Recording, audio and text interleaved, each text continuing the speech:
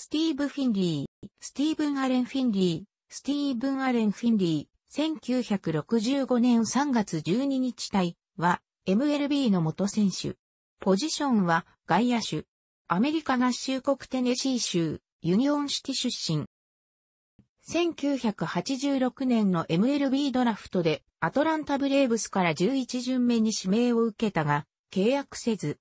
1987年の MLB ドラフトでボルチモアオリオールズから13巡目に指名を受け入団。4月3日のボストンレッドソックス戦でメジャーデビューを果たすが、守備の際に負傷しいきなり故障者リスト入りの浮き目に合う。に22盗塁を記録するなど頭角を表す。1月10日にグレン・デイビスとの交換トレードでカート・シリング、ピート・ハーニッシュと共にヒューストン・アストロズに移籍。移籍1年目のは打率285.170安打、13塁打、34盗塁を記録する。は、全試合出場を果たし、打率292.177安打、13三塁打、44盗塁と、さらに成績を伸ばした。は故障の影響もあり、全体的に数字を落としたが、13三塁打はリーグトップだった。は、MLB ストライキでシーズンが打ち切られたが、自身初の2桁となる11本塁打を記録した。12月28日にデレク・ベル、ダグ・ブロケールら6選手との交換トレードで、ケン・カミニティ、ロベルト・ペタジーニらと共にサンディエゴ・パドレスに移籍。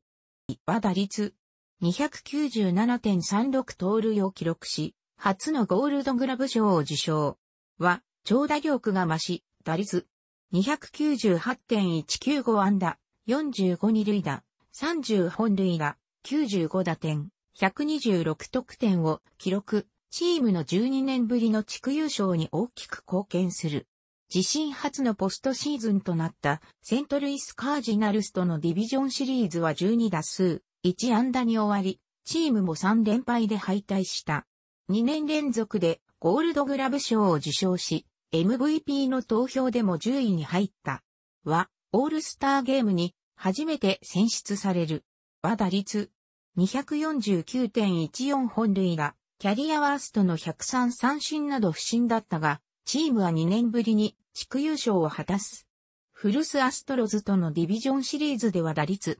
100に終わるが、ブレーブスとのリーグチャンピオンシップシリーズでは打率333と活躍し、14年ぶりのリーグ優勝に貢献した。しかしニューヨークヤンキースとのワールドシリーズでは打率083と振るわず、チームも4連敗と一周された。シリーズ直後にフリーエージェントとなり、12月18日にアリゾナダイヤモンドバックスと4年契約を結び移籍。は34本塁打、13塁打、キャリアハイの103打点を記録し、ルイス・ゴンザレス、マット・ウィリアムズ、ジェーベルト、100打点カルテットを形成。前年地区最下位だったチームは100勝を挙げて、地区優勝を果たす。ニューヨークメッツとのディビジョンシリーズでは打率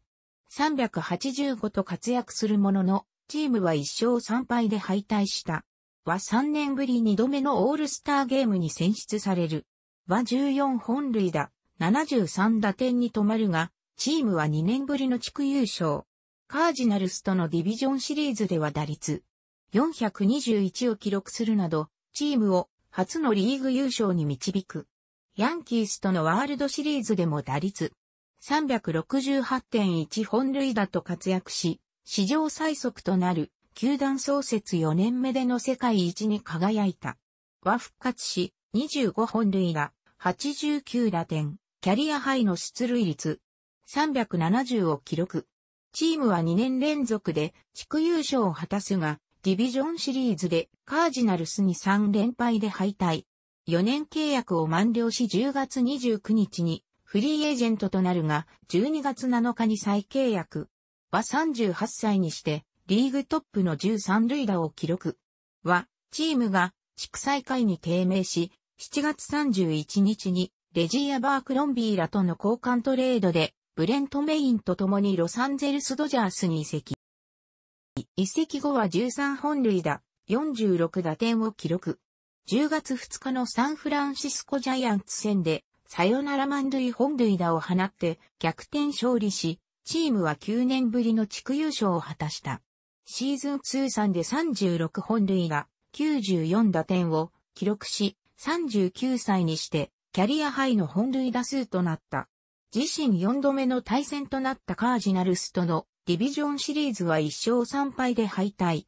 10月28日にフリーエージェントとなり、12月11日にアナハイムエンゼルスに移籍。は打率222.12本塁打に止まるが、チームは2年連続の地区優勝。ポストシーズンでも打率150に終わり、チームもリーグチャンピオンシップシリーズでシカゴホワイトソックスに1勝敗で敗退した。12月22日にエドガルド・アルフォンゾとの交換トレードでジャイアンツへ移籍。6月14日のフルスダイヤモンドバックス戦で初回先頭打者本塁打を放って通算300本塁打に達し、史上6人目の300から300、300本塁打、300盗塁を達成した。41歳ながらリーグ4位タイの12、3塁打を記録するが、打率246.6本塁打に終わる。オフにフリーエージェントとなり、2月24日にコロラドロッキーズと契約。しかし打率181.1本塁打と結果を残せず6月13日に解雇され、引退。楽しくご覧になりましたら、購読と良いです。クリックしてください。